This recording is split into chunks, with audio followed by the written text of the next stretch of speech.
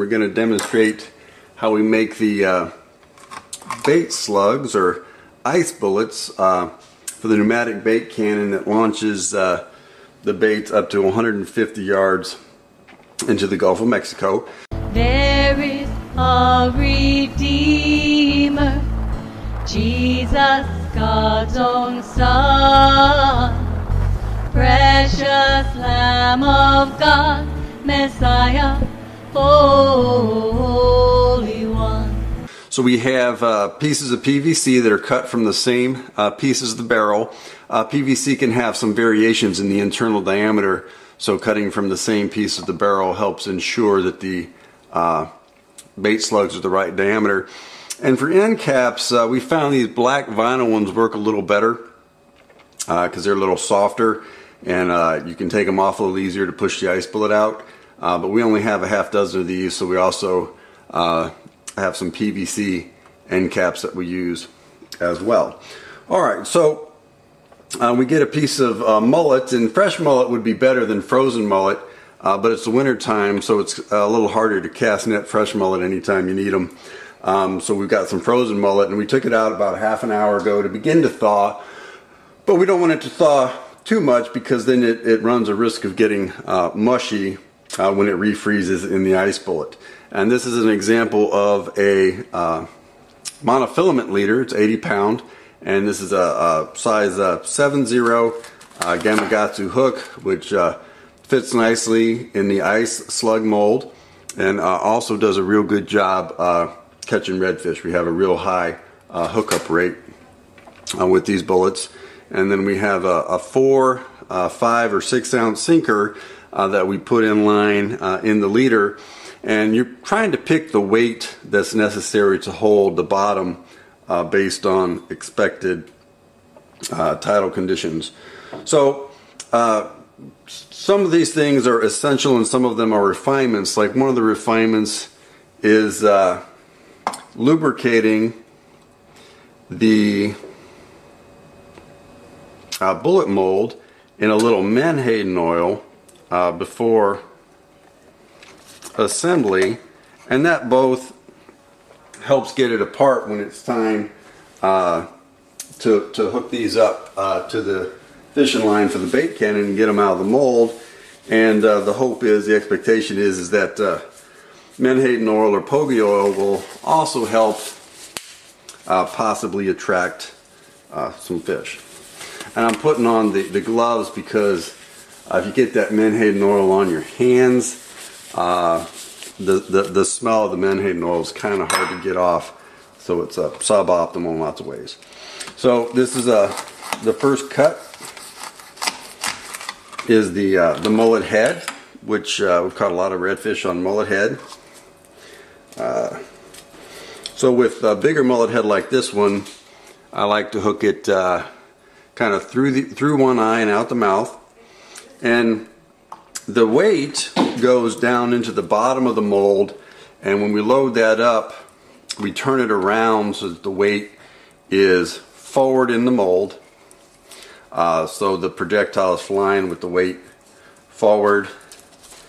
And then you need to make sure that the snap swivel is hanging out because that's where you're gonna I'm sorry that's not the snap swivel. That's just the swivel end of the leader is hanging out because that's where you're gonna attach the snap on the main line and then we've uh, since the the the water here uh, doesn't smell that great so we're using bottled water uh, to fill it up and to complete the rest of the slug.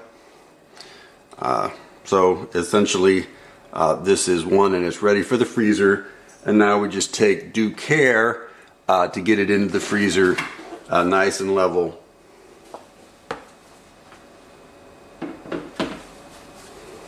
All right, so that's the gist uh, of it. So I'll go ahead and demonstrating, demonstrate making a couple more here. Um, and but these will go a little faster. I won't explain every little point. Uh, dip in the Menhaden oil. Get the end cap on. Uh, people like different sizes of, of cut mullet. Uh, we've learned over the years that uh, this size slice works pretty well. A lead weight, and this one looks like a, a six ounce lead weight, goes to the bottom. Make sure something is hanging out that you're going to attach your swivel to.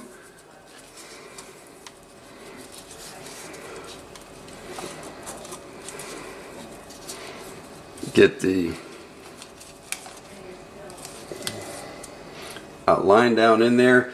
And this can be hanging out. The hook or, or different parts can be hanging out as long as it can kind of be compressed into that two inch diameter because this part's going to go in first because the lead's going to be at the front. Uh, it's going to be compressed into the bait cannon. And then fill up the extra room with water. And that'll be a nice uh, bait slug when it comes out of the freezer.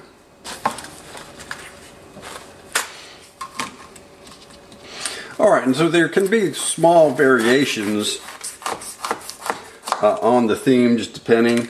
Uh, we're using cut mullet. Uh, if you have another fish available that you prefer uh, for bait, uh, cut ladyfish, cut pinfish, uh, whatever your favorite bait is, as long as it'll attach to a hook and, and, and fit into the bait mold, is probably a pretty good candidate. so Lube it with the Menhaden oil. Hook up the bait slice. Sink her in. Make sure the part where you're going to attach the uh, the main line is hanging out. We're to have to take some care with that here in a minute when we put the piece of cut mullet in. Uh, and we haven't really noticed uh, any advantage disadvantage to whether or not the shank of the hook goes up or the shank of the hook goes down. Um, really, as long as it fits into the uh, two inch diameter of the uh, the bait cannon barrel, it works pretty well. Um, and you know, it's uh, some variations are possible here. I'm just squirting little extra menhaden oil down there with the uh, piece of cut mullet. Fill up the extra space with a little drinking water and keep it level till it gets to uh, the freezer.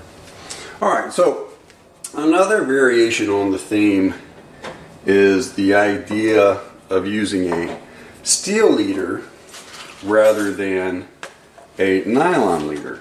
And a lot of people prefer uh, steel leaders uh, when there's a little more uh, better chance of uh, getting into a little shark action. And our procedure is a little different with the steel leaders uh, because we, we, don't really have a good way of attaching the sinker to this part of the uh, steel leader um, so there's a little variation on this theme. Uh, go ahead and cut the piece of mullet.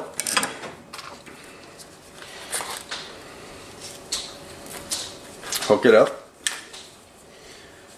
Get a little wrap going on so the leader will fit down into the ice slug. Uh, let's go ahead and let's put that hook down. But since this one is, we're thinking about sharks a little bit, we've got a little trimming uh, from pieces that we prefer not to eat uh, that we're going to put down in there. We're going to add a little chum to the ice slug because we're thinking more about sharks on this one than we are about redfish. So a little chum, little menhaden oil,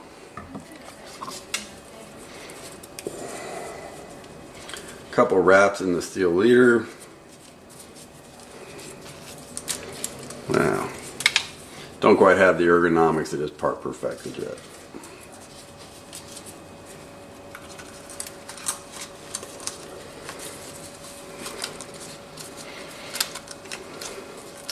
And then make sure that the this end is hanging out where we're going to connect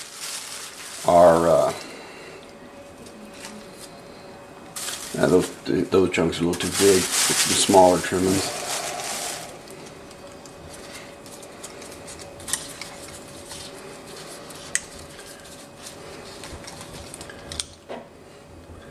And then fill up all the empty space with water.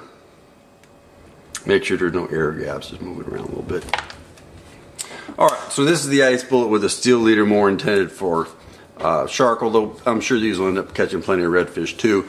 And then what we'll do is when we hook up the main line with the snap swivel, we'll connect a, a lead weight for five, six ounces, maybe three ounces if it's a really light tidal day uh, with the snap swivel right here. And then this in the version with the steel leader, uh, this ends up the front, so all this ends up in the back because you always want the, the lead part to to ride in front. So uh, the lead weights that just get end up being pushed out by the uh, ice bullet and riding in front on the flight out into the Gulf of Mexico.